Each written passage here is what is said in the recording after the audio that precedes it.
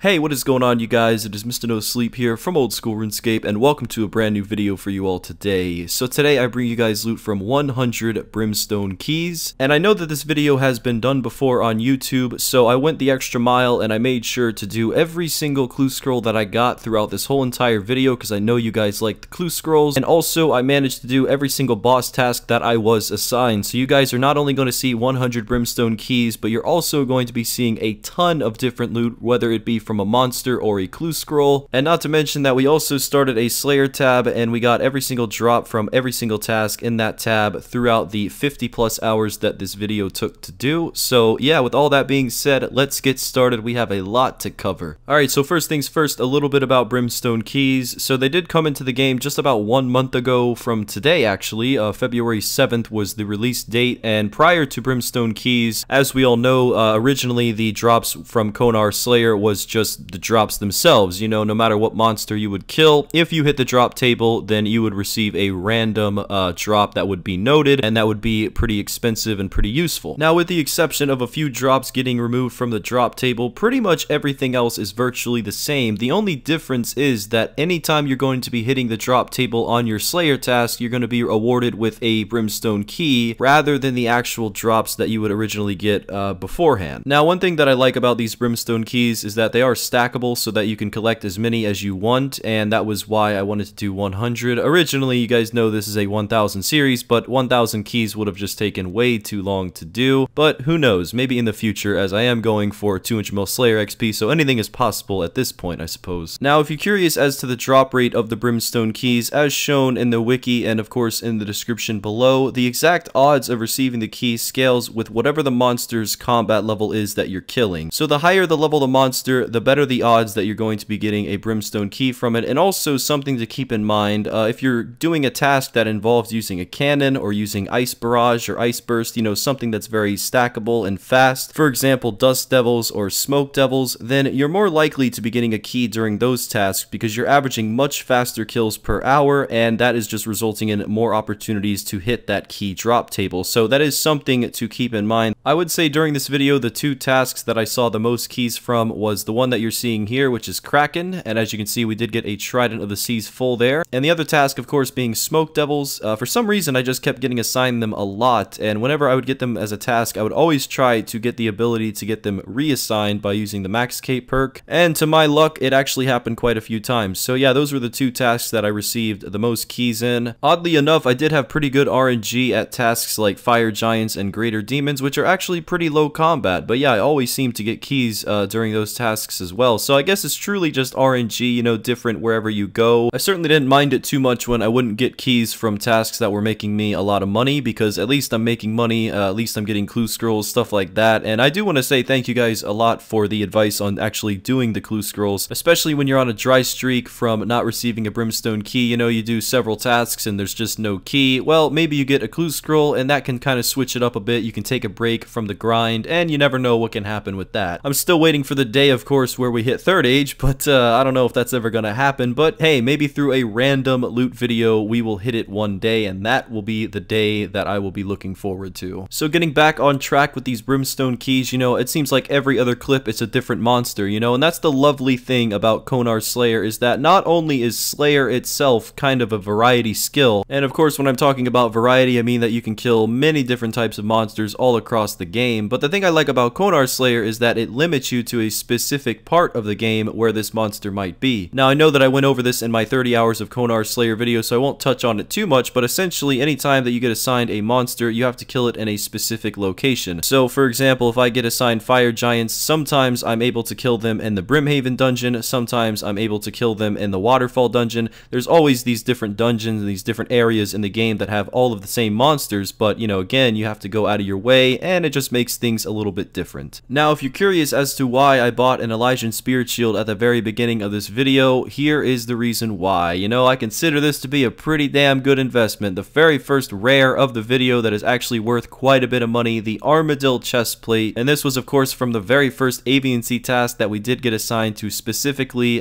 do at God Wars Dungeon. I think the only other Aviansie place that you could kill them would be the Wilderness God Wars Dungeon, and that would really suck because, you know, there's no Kree'arra there. So yeah, we did manage to get an Armadyl chest plate, and uh, I wanted to buy an Elysian so that I could solo Armadyl effectively, because uh, I'm really bad at soloing Armadyl. I just prefer duoing it, but I didn't really have anyone on to duo with. So yeah, I just kind of stuck with uh, soloing, and luckily for me, that Elysian really did pay off. Not only did we get an Armadyl chest plate, but we also got an Elite Clue Scroll and a Hard Clue Scroll. Not to mention we got a Hard Clue Scroll while getting the Ecumenical Key for this one specific task too. So yeah, we were doing clues all over the place. Got about 78k from the Hard Clue, and of course 124k from the Elite. I gotta be honest, you know, I have never seen any good Elite Clue Scroll rewards. I have seen pretty good Hard Clues, but never an Elite. I just wish they would buff them or something. I don't know, I did hear that there is a possible Clue Scroll expansion soon, so if there ever happens to be one, uh, then I will definitely do a loot from 1000 of whatever tier clue seems to be the most interesting at the time. Now, since this is a loot from 100 video and not anything more, not anything less, I figured what better time than now to get 100 million HP XP. Uh, I remember the good old days when they used to call this skill Constitution. But yeah, anyway, 100 million XP later, and of course another Brimstone key to the collection. Uh, really cool to see that, not gonna lie. Wasn't uh, ever expecting to get 100 million HP XP anytime soon, but it was certainly nice to get, and uh, you know, cheers to 200 mil, it's gonna be a while. Now here's two things that I rarely see, and that is uh, Occult Necklace as a drop from these lovely Smoke Devils, and then uh, while doing this next level 3 clue scroll, I saw these two guys doing whatever that is in the wild. I guess that's considered PKing, but that myth plate body really got me off guard though, I will say that. Moving on, here we are with another hard and elite clue scroll. You know, some of the times I would try and get both of the caskets at the same time if I just happened to have uh, both of the clues in the same task, which did happen a few times. From the hard, we did receive a Cyclops head and a Pirate's hat, both uh, completely useless and worthless, but uh, luckily from the elite we did grab a magic seed, so that made up for it. Another nice bonus that we did receive during this video was we did complete 1,000 1,000 Slayer tasks overall, and we did get a fat bonus of 900 Slayer points. If you're curious what I'm going to be using those Slayer points for, um, after my very big 100,000 loot video, I do plan on using all of the Slayer points that I have for a Kraken loot video, as well as a Armadyl loot video, where I'll be on task the whole entire time throughout both of those monsters. All of the Slayer points from this video will come in handy, and they will be used uh, for future Slayer related videos, so that's kind of a benefit uh, of doing these tasks and not skipping or not canceling all of the annoying ones. You know, I did go through with doing some really shitty tasks. I remember the worst task that I did was Bloodvelds at God Wars Dungeon. Just a really weird place to be killing Bloodvelds. You know, that's all I can really say about that one. Uh, there was also, uh, I think, five Abyssal Demon tasks that I did throughout this video and I didn't receive a single whip, so that was pretty bad luck there. The Kraken tasks were always very generous to me. I believe I got a Kraken Tentacle every single Kraken task, and I even managed to get a few Trident of the Seas, so that was nice to see definitely helps the price check at the end. And speaking of things that are nice to see, here are the lovely ancient wyverns that I killed about three months ago 1,000 times, and you know, they are still pulling through for me even after all this time. Managed to get an elite clue scroll and a pair of granite boots, and on top of that, even a brimstone key. So yeah, this task was great. You know, these ancient wyverns are 210 combat, so pretty good chance at getting those brimstone rings. They're very AFK, and I got to try out my new Dragon Hunter Lance, which did phenomenal phenomenal and the uh, kills were insane, so really do regret doing that video uh, without the Dragon Hunter Lance, but needless to say, Fossil Island Wyverns are great for hunting down Brimstone Keys. You know what else is great? Not Dagannoth Kings, I'll tell you that much. Look at all of these drops, but yet nothing worth value. We got a Seercull, which I don't even know why a Seercull still exists. I mean, what am I gonna do? Go shoot someone's magic level down so they can use an imbued heart? You know what I mean? Like, completely useless item. And then, of course, we have the Warrior Ring, which is the same drop rate of the Berserker Ring, but I think the Berserker Ring is 50 times the price of the Warrior Ring, so you know quite a uh, quite a leap there as it pertains to the price. So you, are more likely to only have a good Dagannoth King task if you get an Archer's Ring, a Berserker Ring, hell, even a Seer's Ring. Throw in a Seer's for me and I'll be alright. Nah, I'm kidding, of course. I like Dagannoth Kings. The uh, bones that are noted, you know, it always makes for some profit, so it's not too bad. But anyway, in this clip here, I was uh, going for Brimstone Keys, doing a Dust Devil task, and at the same time, I actually managed to get a few Brimstone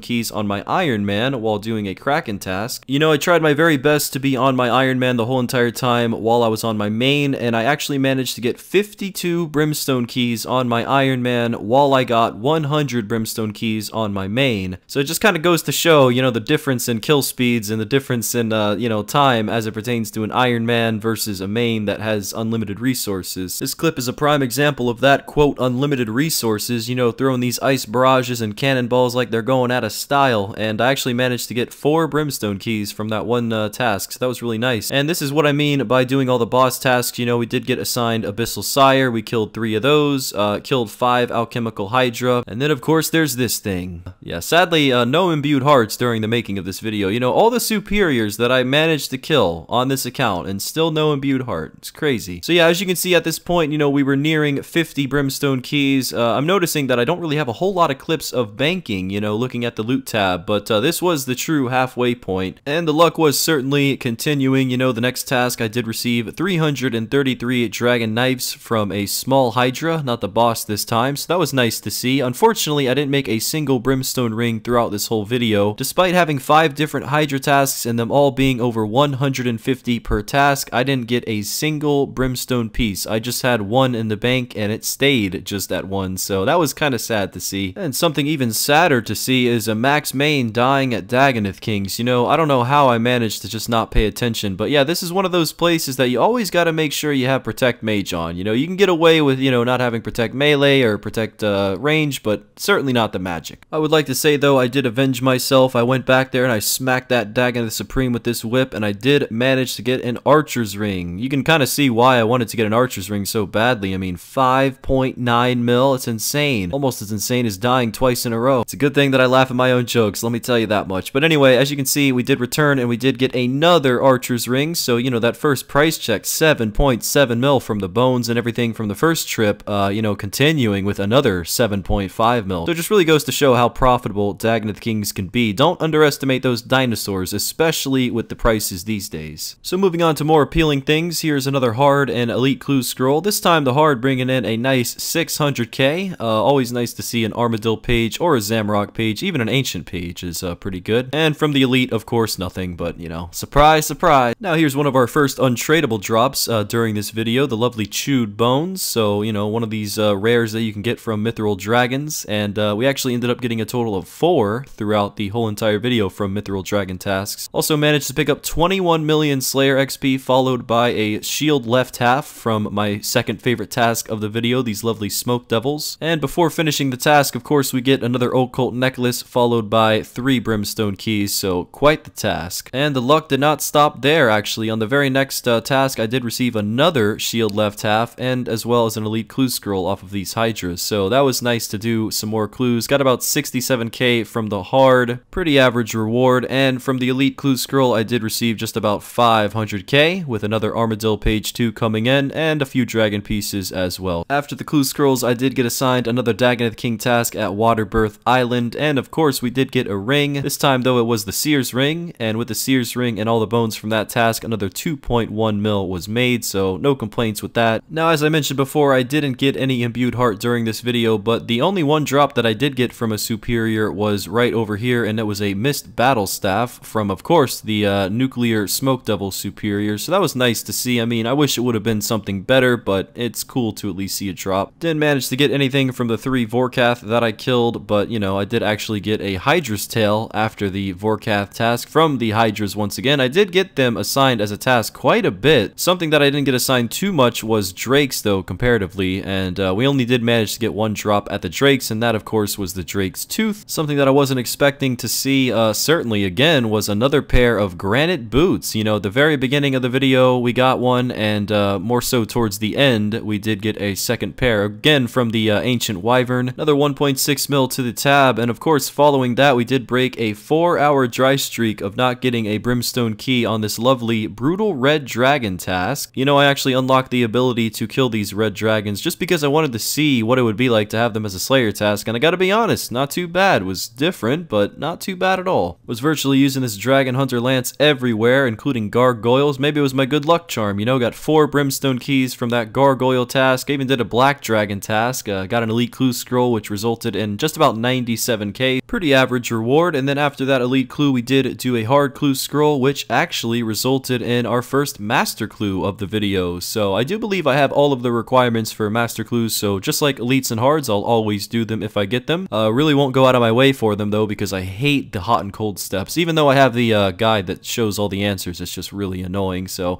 anyways, did get a decent reward from that Master Clue, and of course followed by another clue scroll, which we got from Greater Demons this time, our 159th hard, followed by our 123rd Elite Clue Scroll. Managed to get a Royal Crown from this one, resulting in about 378k, so that was nice to see. Something unique anyway. And uh, following those clues, we did get another Armadyl task, which did result in our second and final piece of Armadyl throughout this video. Just a couple dozen kills later, and we did get an Armadyl chain skirt. Uh, you know, unfortunately, at this point, I did sell my Elysian because I just needed the money for a Kodai and my Dragon Hunter Lance back, so I was using a Crystal Shield at that trip, and it was very miserable. You know, as shown by this clip, I'm not the most experienced PVMer out there, alright? So yeah, like I said, Elysian really does come in handy for a guy like me. But anyway, it was a fun experience, uh, you know, getting a Bandos task after an Armadyl task, and especially getting a, a Brimstone key from Bandos. I never expected that, so it was cool to see. Well, fast forward a very long time, and here we are at 98 Brimstone keys overall. Uh, my second to last task was a Rune Dragon task, which did result in our 99th key, and the very last task of the video was Fossil Island Wyverns. I did extend them, and that did result in our 100th Brimstone key from the lovely ancient wyverns themselves. And at this point, I was very relieved. I mean, I had finally finished this video. The 100 stack was there. It was uh, tangible. It was visible. It was beautiful. And at this point, I just really, really wanted to open those chests. But of course, we saved the best for last, and I did have to do a few things before I was able to open all of the chests. One of those things being I wanted to price check every single item in this Slayer tab that I have been keeping for over a week now. You know, this took me over 1.6 mil Slayer XP, everything in this tab, uh, in order to get these 100 Brimstone keys. So I wanted to price check everything just to make sure I knew just how much money I made without the keys, so that if you're not impressed with all of these uh, keys and all the loot from them, at least you kind of get an idea of the luck that you can get just by doing Konar's Slayer, uh, you know, just by doing Slayer in general, uh, post 99 or whatever your level may be, doing boss tasks or not doing boss tasks, whatever which way you train Slayer. I wanted to just, you know, give you guys an idea of that tab in its entirety, so I price checked every single item. Maybe I shouldn't have included all of the price checks in this video, you know, probably made it longer than it should have been, but I just wanted to, you know, show you guys uh, every single detail and make sure that you guys uh, saw the numbers for what they were. I mean, at this point, we had price checked pretty much all of the low valued items, all of the clue scroll items, none of the rares or anything valuable. I'd say the most valuable item that was price checked was the DK bones, and we were already at close to 40 mil. And here we go, price checking the more valued items, you know, the occult necklaces, the kraken tentacles, as well as the trident of the seas and the mist battle staff. Comes out to be just about 7.4 mil, so we add that to the 38.3 and we get 45.6 mil. Now we pull out all of the very expensive items, all of the rings, the Armadyl pieces, and everything in between, and it comes out to be another 104 mil. Now again, 86 mil of that came from Armadyl, so it's pretty fortunate to get so lucky there. But again, it's all Slayer related and it's all RNG at the end of the day, so 150 mil was achieved from just doing Slayer for 100 Brimstone Keys. Just insane to see that. Now, of course, we have these lovely chewed bones. Uh, I did use four and I didn't get anything, but eh, it's alright. At least we managed to get a few chewed bones in general.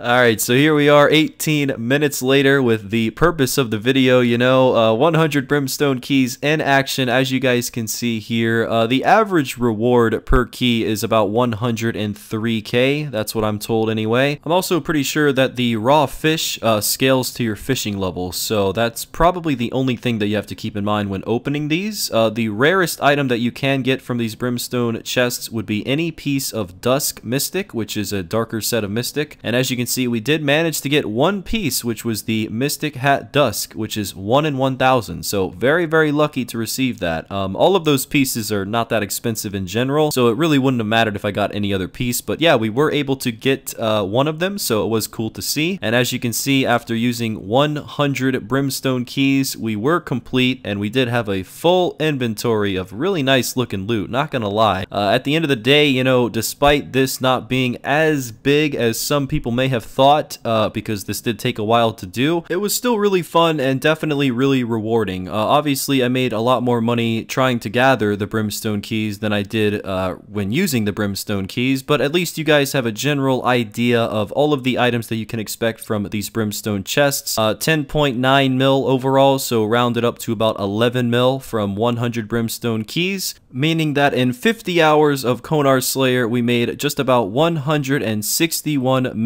total from 100 Brimstone Keys. That is awesome. And with all that being said, we are going to go sell every single item in the Grand Exchange right now to see the overall profit. And to conclude, I just want to say one thing. Uh, the drop table for Konar and these Brimstone Key chests, yes, it's been updated a few times, and it probably won't ever be updated again, let's be honest, but I really think that they should look at the rare drop table. I don't think that it's right to have a piece of Mystic be 1 in 1000 when it is virtually useless. Personally, I just think that adding Dusk Mystic was one of the most pointless things they could have ever done, especially putting it on Konar's drop table as the rarest item it just makes no sense. But then again, ladies and gentlemen, we always have to remember sometimes in life, things just don't make sense. So with all that being said, I want to say thank you very much. If you watched this whole video, then wow, that's actually impressive. Thank you for taking the time out of your day. I hope you enjoyed it. No matter how much you watched, thank you, and I'll see you next time.